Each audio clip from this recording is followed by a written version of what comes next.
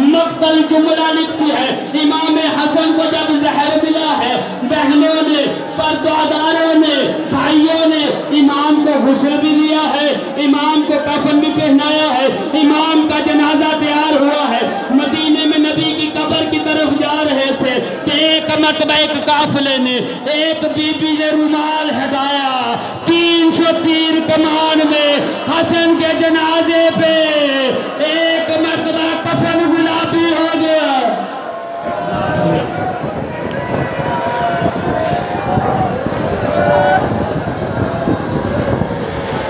तमाम तंजीजन दोस्तों से दरखास्त है कि जैसे ही तबूत बाहर आएगा, तब आप तंजीजन कीजिएगा तमाम तंजीजन दोस्तों से दरखास्त है कि अभी ताबूत का इंतज़ार कीजिए।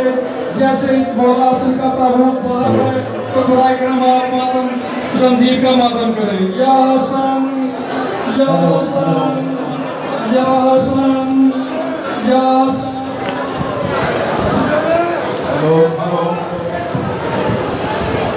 还有还有。